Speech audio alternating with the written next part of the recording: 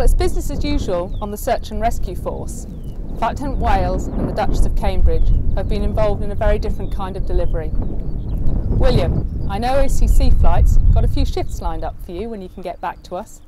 But in the meantime, on behalf of everybody on the search and rescue force, we'd like to congratulate you both on the safe arrival of your new son. Absolutely fantastic news. We're thrilled for both of you.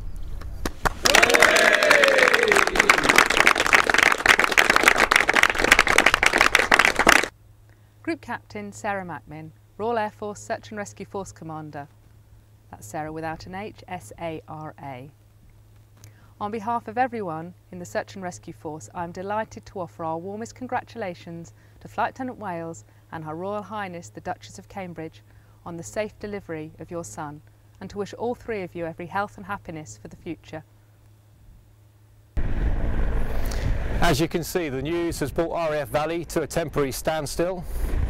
We are all delighted to learn that Flight Lieutenant Wales and the Duchess of Cambridge are now proud parents to a newborn son. We wish them all the very best from everybody at RAF Valley.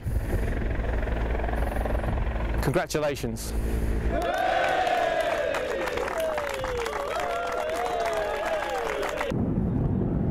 On behalf of all the military and civilian personnel and our families at RAF Valley, I'm delighted to offer our heartfelt congratulations to Flight Lieutenant Wales and Her Royal Highness the Duchess of Cambridge on the birth of their son.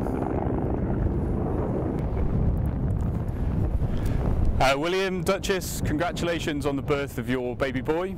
William, I hope you enjoy your paternity leave and we'll see you on shift soon.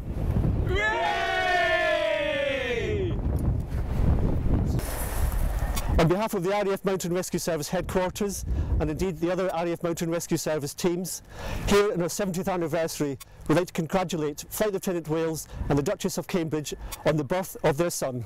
Hooray!